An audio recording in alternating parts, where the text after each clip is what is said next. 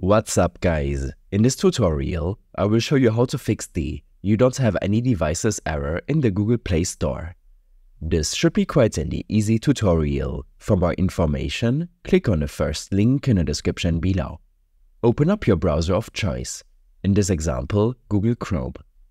From here, make sure that you're signed in with the same Google account your Android device is signed in with.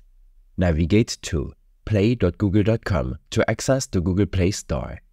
On this page, head to the app you're trying to install on your Android devices. You might see the You don't have any devices or the Install on devices option. If you see the You don't have any devices option, then this indicates that your Android device is not compatible with the app you're trying to install.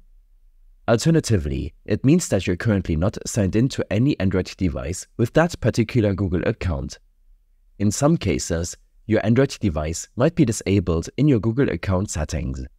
To verify this, head over to your profile picture on the top right of your screen and select Library and Devices.